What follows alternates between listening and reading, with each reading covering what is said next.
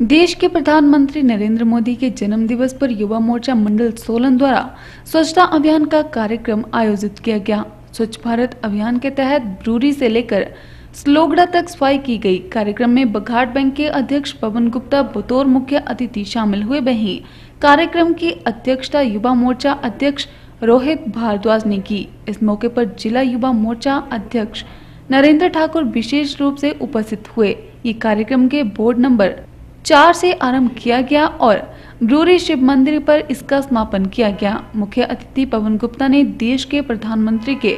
जन्म दिवस पर उन्हें बधाई देते हुए उनकी दीर्घ आयु की कामना की और कहा कि नरेंद्र मोदी के नेतृत्व में भारत विकास का परचम विश्व में लहरा रहा है। छह वर्षों में उन्होंने भारत का नाम दुनिया में रोशन किया है। वहीं उन्होंने देश के सभी वर्गों को संतुलित विकास कर एक नई इबारत लिखी है। उन्होंने कहा कि कोविड के चलते समूचे विश्व को भारी नुकसान हुआ है, लेकिन देश के प्रधानमंत्री के कुशल नेतृत्व के चलते भारत में कोरोना उतना असर नहीं दिखा पाया है, जिसके लिए भारतवासी हमेशा उनके ऋणी रहेंगे। इस कार्यक्रम में स्थानीय नेता रवि शर्मा भाजपा जिला सचिव दीपक शर्मा, सुरेश शर्मा, युवा मोर्चा मंडल महामंत्री वैभव ठाकुर व अरुण ठाकुर, जिला सचिव दिनकर कुमार, युवा मोर्चा कोषाध्यक्ष अरुण मेहता, युवा मोर्चा मंडल से अमित भारद्वाज, अभिलाष ठाकुर, दिव्यांशु हंस, विमल शर्मा, शुभम वर्मा, अभिषेक गुप्ता, अमन शर्मा, राजेंद्र शर्मा विशेष रूप से उपस्थित रहे। भारत के यशस्वी प्रधानमंत्री, माननीय आदरणीय श्रद्धेय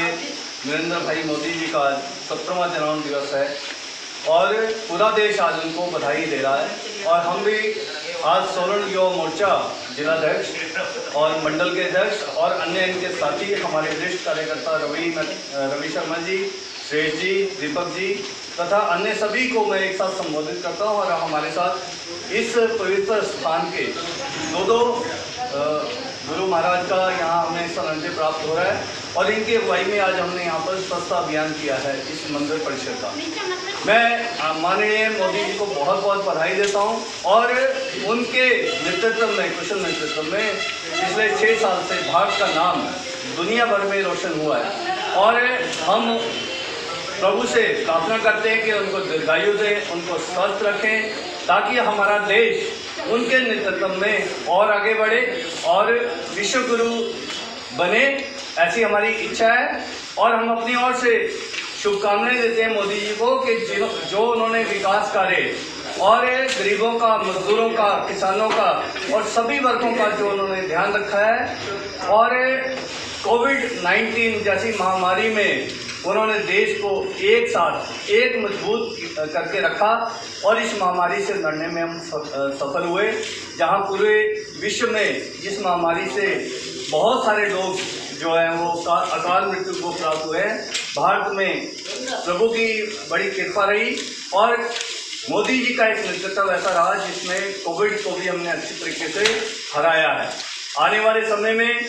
और अच्छे काम इस भारतवर्ष में होंगे और मोदी सरकार जो पिछले छः साल से जनहित के कार्य कर रही है, आगे भी ऐसे कार्य करती रहेगी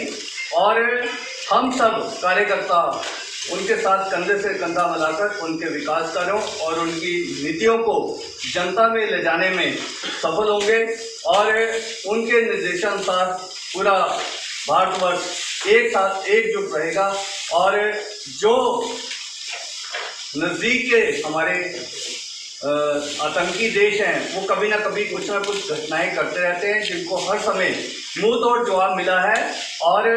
हमारी सेनाएँ सशक्त हुई हैं, मोदी जी के नेतृत्व में हम फिर ये चाहेंगे कि वो पुनः भारत का नेतृत्व